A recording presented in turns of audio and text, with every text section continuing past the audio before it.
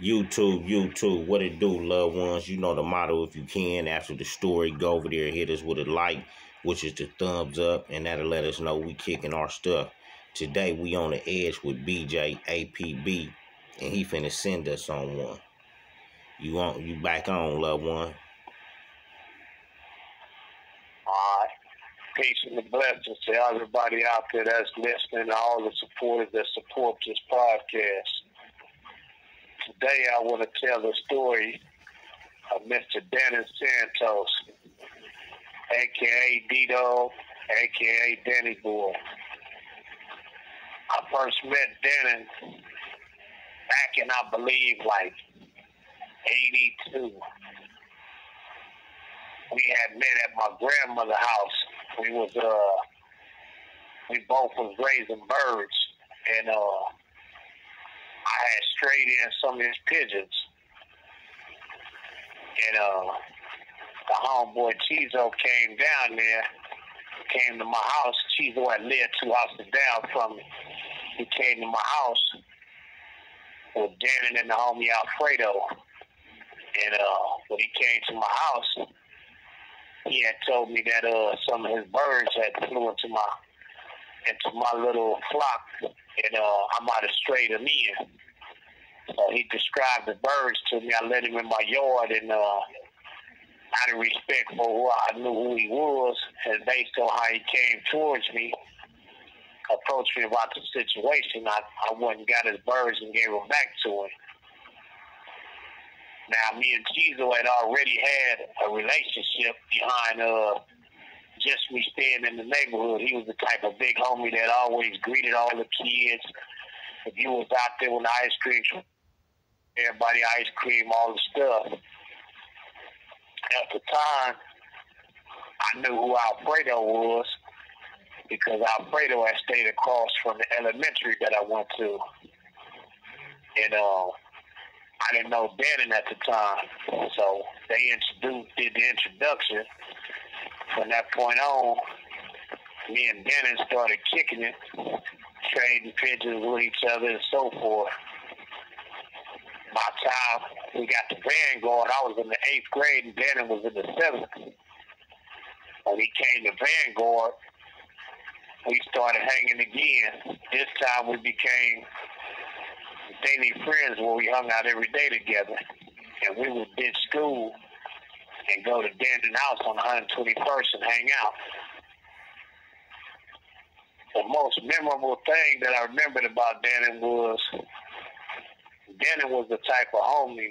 He didn't care what day it was, no matter who he got in the car with, his mama, his daddy, grandfather, whatever. He always stayed flamed up. You would never catch him without a red hat. He always had on some type of red coat. If he didn't have on the red coat, he had on the red Pendleton. In fact, you can find him on the internet on YouTube from a story of when Oprah Winfrey did a story about the gang. She had interviewed him. And he had on the same exact attire I'm talking about. He had the red hat turned backwards, the red Pendleton, he had the red flag tied around his head. That was always him. He always had on some either some red chucks or either some red house shoes. Most of the time, he liked to wear the red house shoes or some black house shoes. The most memorable story about Danny was Danny loved some women. And I remember one time Danny had uh, some family that stayed out in Oak Park Hood out in Sacramento. And he went up there to visit him visit them, I'm going to say. And they put him up on all the Bay Area music, all the stuff that was going on up there. The rapper Too Short was out at the time, but he wasn't out down our way. In LA, we didn't know nothing about him. So Dannon memorized his whole tape and came back. And one day we were sitting in Magic Johnson Park getting high, and Dannon pulled out this paper and got to acting like he was rapping. And so we asked him, like, you know, what you doing? He was like, no, nah, when I was up there in Sac, I was rapping with my cousin and them, and uh, they want me to get my lyrics together so when I go back up there, we can put something on wax. Yeah. Like, I was up there writing. So me and the homie Harry O asked him, you know, don't let us hear something. It was me, Harry O from Bounty Hunters, and uh, Lil Scrap from Bounty Hunters, and the homie uh, Rome from the hood. We sitting down there, we like, go and put something out there. He go to rapping that uh song Freaky Tales by Too Short. And what made it so believable that it was his rap because at the time Dan had a bunch of little girlfriends. So when he got the name and names, some of these girls had the same name of the girls that we done seen over Dannon house, so that made it believable to us that he really wrote his rap. This call and your telephone number will be monitored and recorded. So every day when we used to go over his house, we used to listen to the homie rap, and all the time, we not knowing at that time that all these raps that he's singing was E40 and Too Short and all these raps, we thinking that he really the, the founder of them because we never heard him before. So we cheerlead him on, we tell him he should get into rapping, you know, all the stuff. Yeah. One day, uh, Dan started taking us in different hoods. He was instrumental in uh, taking us to different girls' house. You know, he used to have us in all type of crip neighborhoods, dressed just like he dressed. You know, and uh, I remember he took us over five nine Hoover. We went over these girls' house on uh, 60th and Figueroa. That was his uh his main girlfriend. He ended up falling, falling in love with this girl named Stella. And he took us over to Stella house and every day we was going over there the Hoovers never gave us no problem. But one day, uh, they ended up coming over to the house that we was over. So we was like, yeah, we got to quit coming over here. Even though they didn't trip on us, we still was like, we got to quit coming over here. And the most memorable thing that I remember about Danny that had me laughing the hardest was one day me and Danny had did school and went to the heart to the uh, Carson Mall. And we was at the mall and we up there playing video games, and we see some girls, and Danny go to talking to them. When I go over there with him, we over there talking to them. And some dudes from 190 come. They were some OGs too. They was like, well, we, I'm gonna say they was OGs because they was like, they was already grown. We was still in our teens.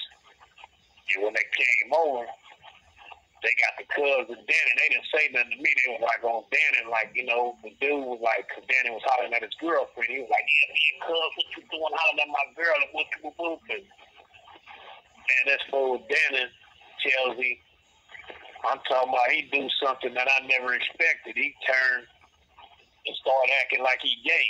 And he tell dude, he said, man, I wasn't hollering at your girlfriend trying to get at her. He said, I was asking about you. I seen all your muscles and uh I was trying to get your number. And he went to rub the dude arm and the dude jumped back and his homies started laughing at him.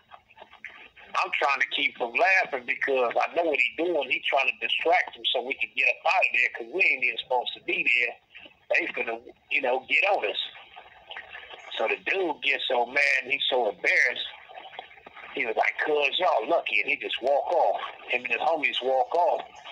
So the girls and his homies laughing so hard, the girl found Danny, you know, funny.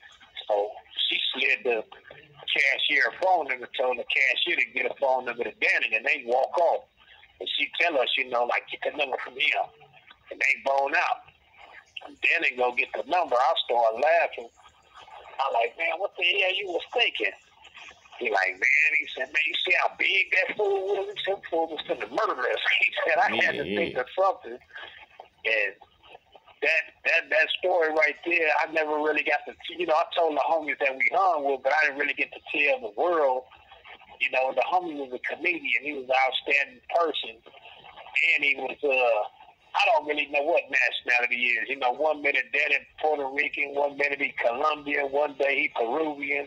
I don't know what the hell he was, yeah, man. Yeah, All I yeah. know he was my homeboy, man. he was my dog, man. And uh subsequently, man, my boy ended up uh getting killed, man, and uh he was the reason I stopped wearing house shoes because before I ended up going to YA, I used to always get on him about wearing house shoes, you know, and uh, the homie had just got shot eight times, you know, like six months before he died. You know, he had got shot, shot eight times for the same reason. He was wearing house shoes, and some dudes came through, and he tried. This call and your telephone number will be monitored and recorded. And uh, slipped and fell, and when he got up, they got on him, hit him, and uh, gave him gave him a uh, colostomy bag.